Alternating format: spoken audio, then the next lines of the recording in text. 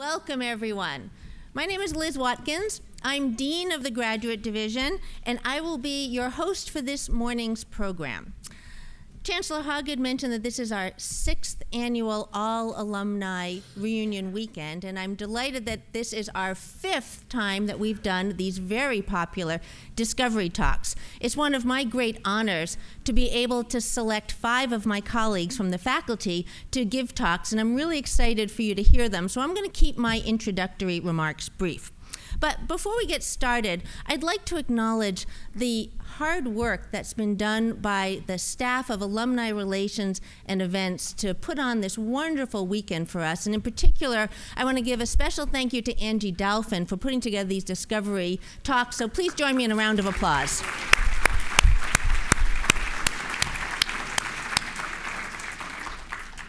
Now, as you all well know, our faculty are engaged at the forefront of biomedical inquiry with research on that ranges from molecules and cells to individuals and populations.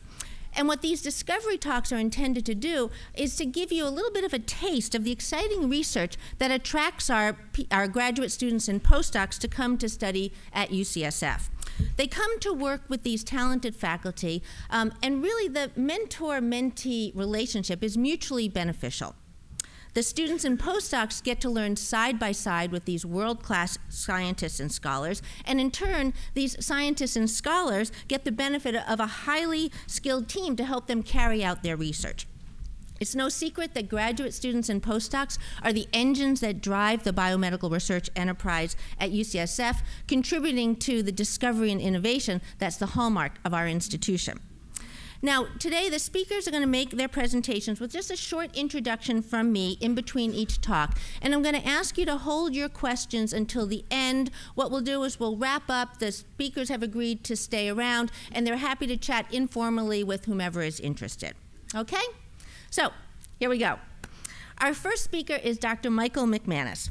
Michael is affiliated with no fewer than five PhD programs here at UCSF Biomedical Sciences, which we call BMS, the TETRAD program, which is biochemistry, molecular biology, cell biology, and genetics, biophysics, biomedical informatics, and pharmaceutical sciences and pharmacogenomics, which we call PSPG. His lab is located on the Parnassus campus, and it's known as the place where RNA biology meets human disease. More specifically, his group studies fundamental processes related to the regulation of gene expression. The title of his talk is Illuminating the Dark Matter of the Genome. Michael.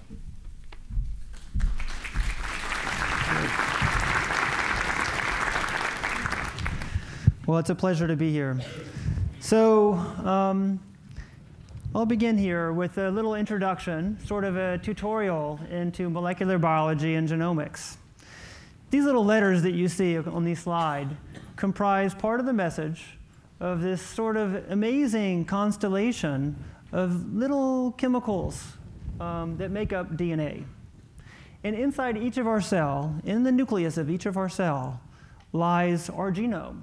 And our genome is composed of the letters A, C, T, and G. These little molecules are basically strung together like pearls on a necklace. And there's a lot of it. There's 3.3 billion base pairs of information. This is what we call them, base pairs.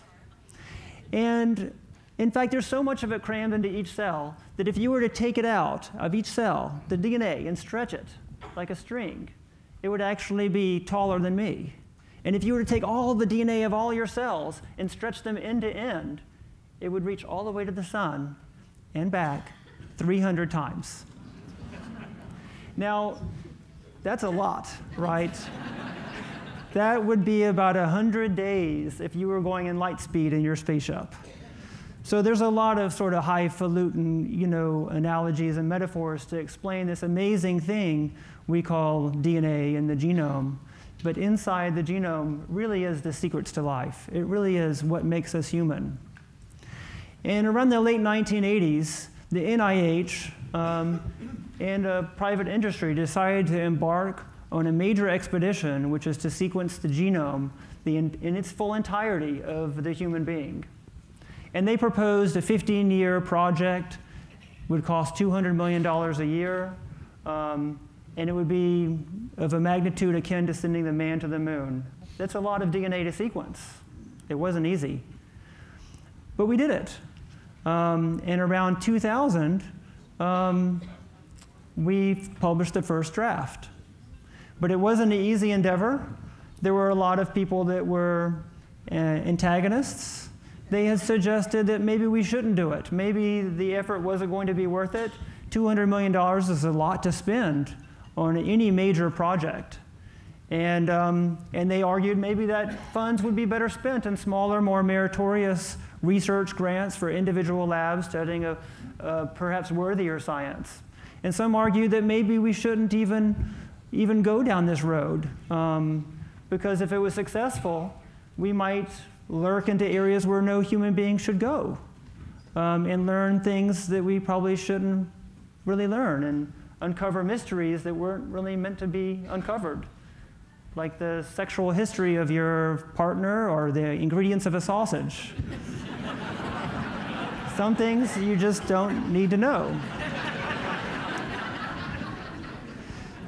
But the proponents argued that this was a key uh, to understanding life and human and undercovering, you know, basically understanding human disease.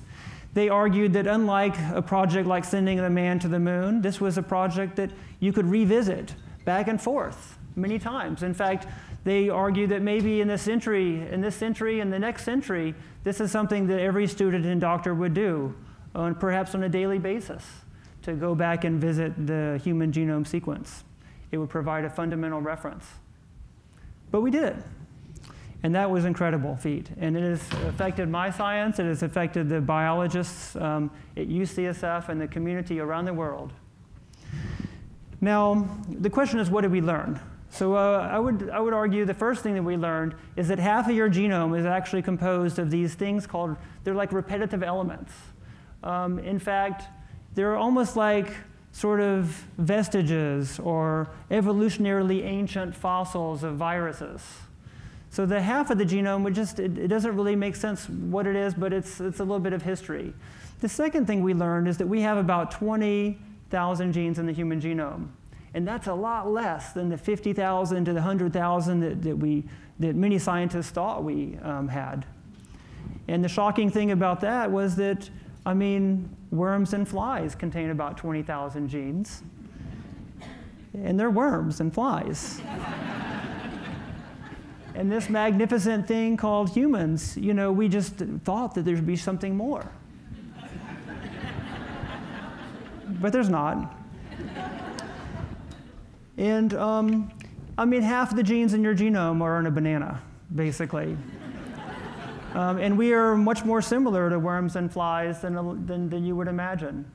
And, um, and that was a pretty um, um, impactful thing for a lot of science, scientists to appreciate.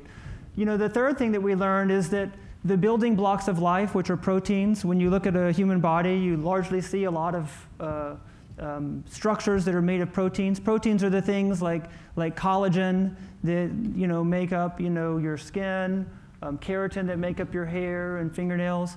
You know, these are the building blocks of life, but yet only 2.5% of your genome encodes for proteins. The other 90, you know, 90% or so encode for, well, we don't know, dark matter. And it's this dark matter which my lab studies, and it's just fascinating. Um, and the dark matter, at one time people thought it was junk DNA. That's what they called it, junk DNA. Uh, but we now know that it's, it's not just junk. I mean, it, it's true. Maybe a lot of it is junk. But, but we're constantly finding new things. And one of the really cool molecules that we found are these tiny classes of the sm world's smallest genes called microRNAs. And microRNAs are really neat because they regulate the expression of all the other genes. They partner with them, they connect with them, and they restrict them from being expressed in all cells of your body. With 20,000 genes, it would do no good if all genes were expressed at full volume in all cells of your body. That would be a veritable cacophony. It would be like going to a concert with 20,000 instruments, all of them playing at once. But microRNAs tell which tell different genes which ones should be expressed. So a heart cell should express only the heart genes, and a brain cell should only spell, express brain genes, and microRNAs are responsible for that. And microRNAs aren't the only molecules within the dark genome. In fact, there are many others, I, more than what I have time to go into.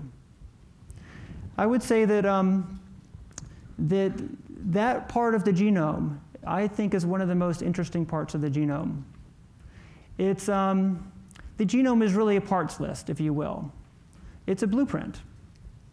The genome contains thousands and thousands of parts. A, a car contains about 30,000 parts, if you count all, every little, down to the last screw and gear. And I think if I gave most of you guys a parts list for the car, you probably wouldn't know how to put it together. Sure, some of you might know that the steering wheel, you know, where that goes and the, you know, the, the, where the wheels go. But would you know the steering wheel can, you know, connects to a steering shaft, and that connects to a pinion, a type of gear that helps to control the steering of the car. Most of us probably wouldn't know, and that's what um, that's the way most scientists think about DNA. We just don't know about all those little things, and that's what we're excited to, to figure out. And um, it's, um, it's just an incredible wonder. It's, it's a wonderful time to be a scientist, to figure out the things that make us human, the things that make us a family. Thank you.